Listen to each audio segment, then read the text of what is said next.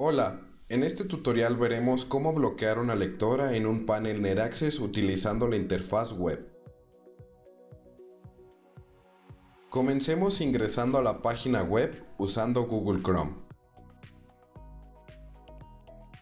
En la pantalla de inicio selecciona el menú en la esquina superior izquierda y selecciona Configuración.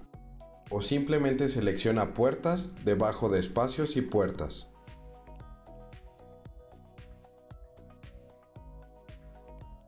Selecciona la configuración de tus espacios y expande el espacio por defecto con el signo de más. Después selecciona la puerta de la cual deseas bloquear la lectora. Una vez que selecciones la puerta, verás la pestaña de lectoras. Aquí encontrarás la opción para bloquear la lectora, en el cual podrás seleccionar el horario en el cual deseas bloquear la lectora.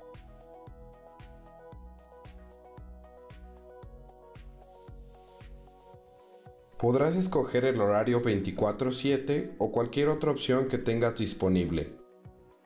Tengamos en cuenta que cuando bloqueamos una lectora, esta no funcionará en el horario seleccionado, por lo que si presentamos una tarjeta en la lectora, en la sección de alarmas y eventos no se mostrará ninguna alarma o evento.